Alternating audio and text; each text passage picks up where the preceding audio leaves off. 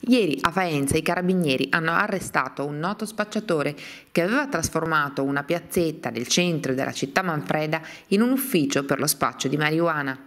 Clienti del pregiudicato marocchino erano giovanissimi alunni delle scuole superiori di Faenza, ragazzi di 14-15 anni che prima di andare a scuola o dopo le lezioni si fermavano nella piazzetta a consumare e acquistare droga.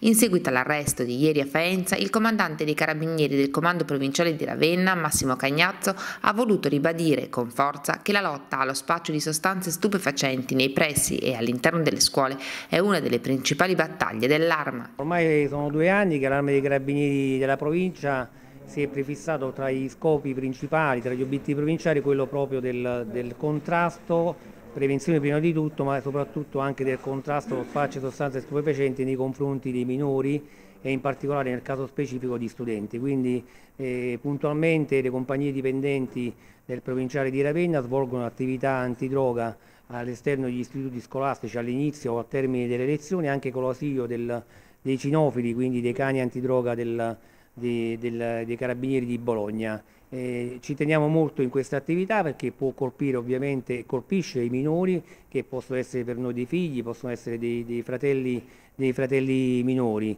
Eh, è un'attività che si inserisce nel quadro più ampio di quelle che sono attività di contrasto alla criminalità che può colpire l'ambiente eh, extrascolastico o scolastico, parlo del bullismo, eh, parlo di prevaricazioni magari anche che possono avvenire eh, tra alunni, però ehm, è ovvio che il minore un po' così come l'anziano, eh, mi riferisco alla campagna per le truffe agli anziani che l'arma di Ravenna sta svolgendo, il minore ha un'autodeterminazione minore, quindi ha un un, è facilmente influenzabile, ecco infatti l'arresto lo dimostra lo spacciatore sotto gli istituti scolastici nella piazzetta eh, che fa un po' da, da, da, da, crocevia degli istituti scolastici di Faenza che avvicinava o era lì disponibile per dare la sostanza stupefacente, in questo caso la marijuana, a, a studenti giovanissimi di istituti superiori della, della, zona di Faenza, magari anche agevolati dal fatto che, di avere la pronta eh, disponibilità di uno spacciatore lì in piazzetta e quindi peraltro dove, peraltro la, dove, dove la consumavano, quindi provvedevano anche al consumo di quello che acquistavano. Nell'arco del 2016 quali sono le operazioni che appunto sono state portate a termine? Complessivamente Faenza, Lugo, Ravenna e Cervia che sono le quattro compagnie con i 40 comandi di stazioni carabinieri abbiamo fatto numerosissimi servizi che hanno portato all'arresto all'esterno degli istituti scolastici di, eh, o in prossimità di quattro, di quattro, persone, quindi di quattro spacciatori, alla denuncia a piedi libero di due e alla segnalazione amministrativa per consumo di oltre 25 eh, diciamo, minori.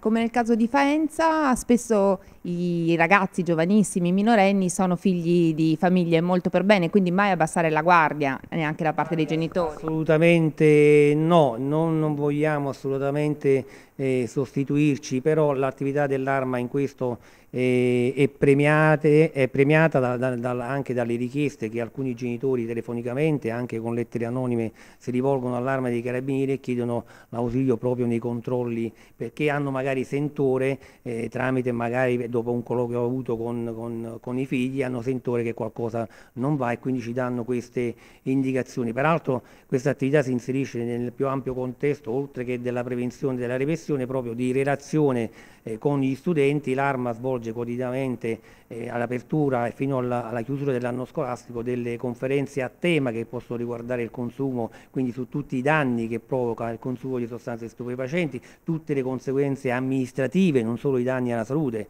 ma anche in particolare conseguenze amministrative che porta il consumo di sostanze stupefacenti, non solo, anche il bullismo, quindi l'arma in questo è disponibile. Noi, io ho fatto l'appello sia agli insegnanti, agli alunni, ai compagni magari che eh, sanno, sono a conoscenza che un compagno di classe che magari è minorenne, quindi non ha la capacità magari di autodeterminarsi, di chiedere un aiuto eh, ai carabinieri per poter intervenire e risolvere il problema magari prima che possa diventare eh, più grave.